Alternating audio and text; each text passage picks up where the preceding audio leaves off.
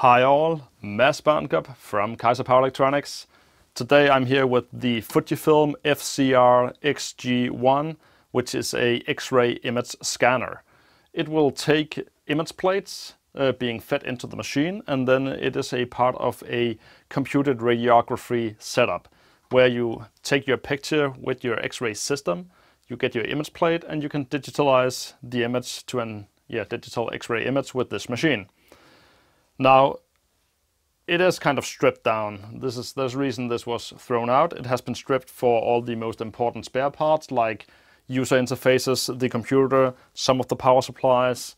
But what we do have still is this huge module that we have mounted on, on the, the rubber gaskets, which is the whole digital image scanner and reader out. So that contains a laser module and also a photo multiplier tube two very nice items. So along with some high voltage power supplies that seems to be still in place for the tube, this is going to be a pretty nice teardown. And it isn't just a electrical interesting teardown. It has a lot of mechanical parts. The whole machine setup is driven by a lot of belts, gears, rollers and such. Uh, a lot of nice parts that probably could be reused into 3D printing or CNC machine building. Here at the bottom of the unit we have the computer slot uh, where we would have the cards that would control this whole unit. And as we can see we have the slot 3 at the bottom which is named CPU. Slot 2 in the middle is named SCN for scanner and then we have SNS which is probably a kind of system board or yeah more like controlling the, the whole uh, servo set up throughout the machine. Now I want you to notice the fuses. I have actually not seen those fuse holders before. But here we have small SMD fuses in, yeah, small SMD fuse sockets. That's pretty special. At the top we have what seems like a power supply for the servo motors and that is judged by this servo controller board and the large power connectors that goes out through the machine to the different motors. Underneath we have the feeder into the whole scanner unit. Seems to have some kind of flat PCB mounted servo motor here. Kind of a funny setup. A PMT or photo multiplier tube. It's with its own board up here we will have a better look at that once we get it out. But what is really peculiar with this is that normally you see a lot of uh, plastic fibers used to uh, lead the light up to the tube itself. But this is actually a solid piece of, yeah, it could be acrylic, but it's really formed in a nice way and seems to be cut out and melted into that form. That's pretty interesting. I have never seen that before.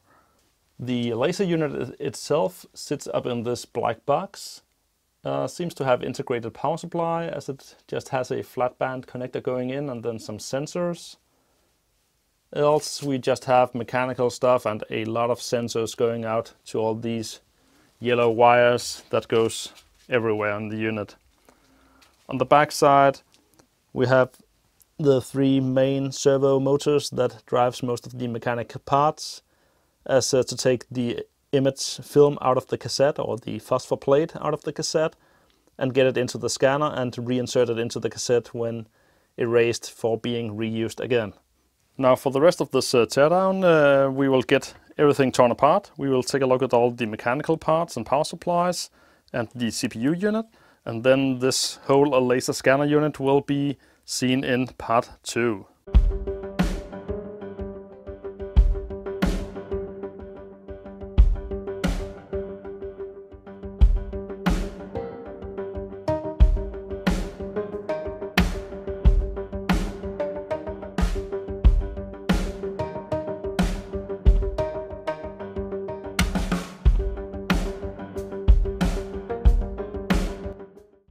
So the unit is about as empty as I will make it in this video. The rest of the mechanical parts we can take a look at here sitting in the enclosure still. One of the peculiar things I found inside of here is this piece of plastic which is a lid for a cable canal that you used on the wall installations for yeah regular mains cabling. Um, seems it's had a job of shielding the uh, image of or the the film plate getting entangled in something else. Seems like quite a weird fix for a medical instrument. Other than that, we have the yeah the reflective part underneath here where the laser would shine down towards this uh, piece of you can see the light shining through this see-through plastic and that is where the um, plastic this one connected up to the sensor some of these other parts over here will stay in place until I get them out. I re never really figured out how this whole unit was mounted on the rubber gaskets, but it does seem that usually you can take these whole rubber gasket mounted units out of it and you can exchange it with a new, but this one really seems like it was built in place because as of now I seem to actually, oops, yeah, there came out the whole servo assembly. So apparently I did get enough screws out to get that one away. So if we just take a look underneath that, we have the uh, three servo motors sitting here. Just goes out to some common connectors down to the servo controller. And as we can see in here, these screws are what secures the last three rubber gaskets to the base. So this was built in place. Now, um, one of the things that tells me this was not used for humans would be the large amount of dog hairs.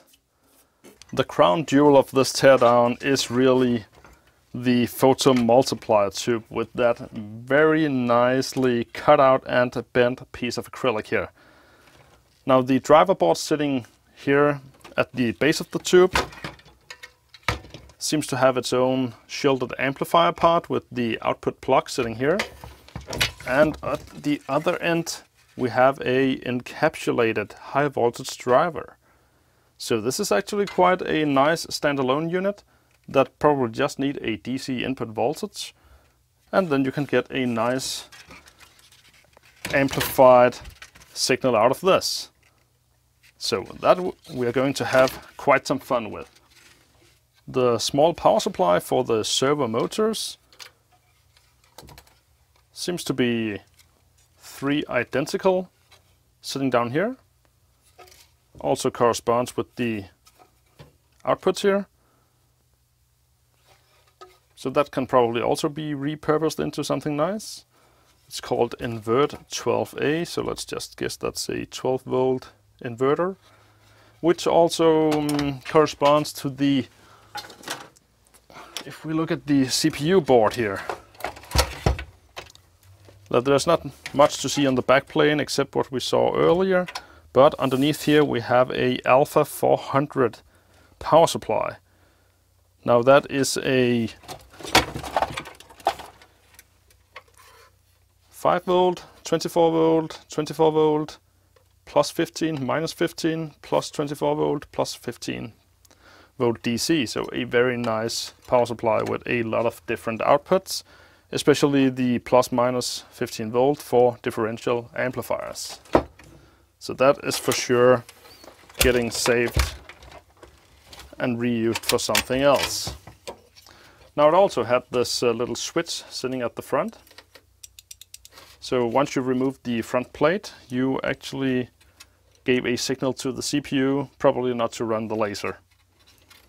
Again, very nice parts. The laser module itself has a, a few broken plastic parts, but other than that, it seems like the whole black plastic unit here is just a standalone. All the metal down here is just shielding, so you only have the film going in and out along the scanning area and not have laser shoot out over all the place. That will be due for another teardown video. Now among the other nice things is uh, small geared motors, some more stepper motors, 1.8 degree, 2.5 amps. Good quality hardware, a lot of uh, wire bundles, but that is just going to scrap.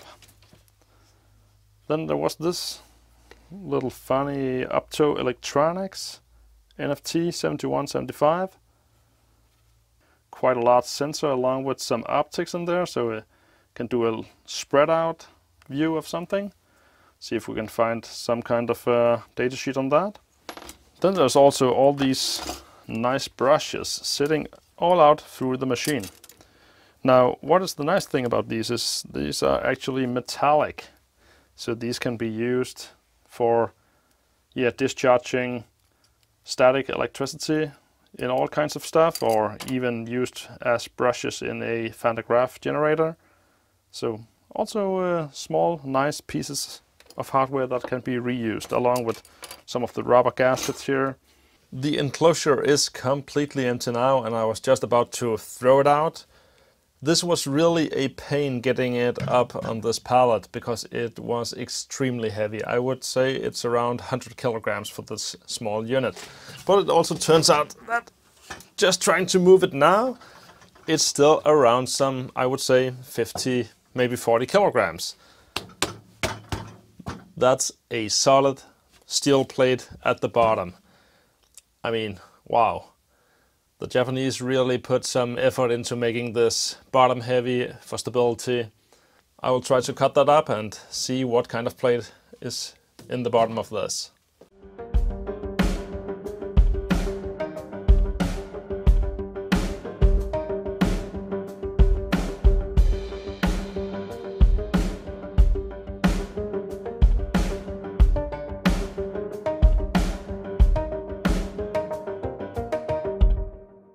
Okay, that was quite insane. I think this is the worst kind of canned food I have ever tried to open. Took a lot of tools, some hard work, but look at that. That is a serious piece of iron. Solid steel, steel plate, or at least a, a large beam and two smaller beams welded together and all welded to the bottom plate and the bottom plate had these standoffs for the feet welded on both sides as well. It was also riveted and also point welded along the frame. So that took quite a lot more effort to open than I had first imagined. So that was it for part one of this teardown video. So stay tuned for part two where we look at the PMT, part three where we look at the laser scanning module. So until next time, see ya.